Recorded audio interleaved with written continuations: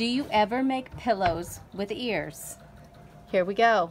Our nice little donkey ears. I love donkeys, but I don't want ears on my pillow.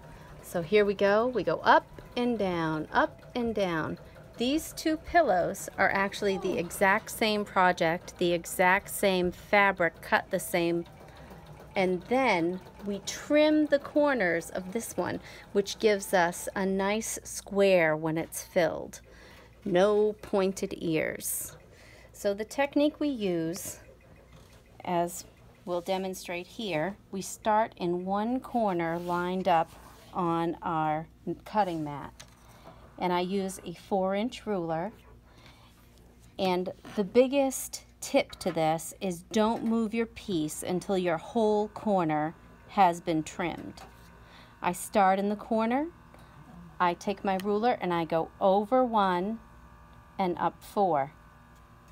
And I just cut that piece off. Now I'm going to come back to where I started originally and I'm going to go up one and over four and nip that off. Then I'm going to turn my entire project to start in a corner again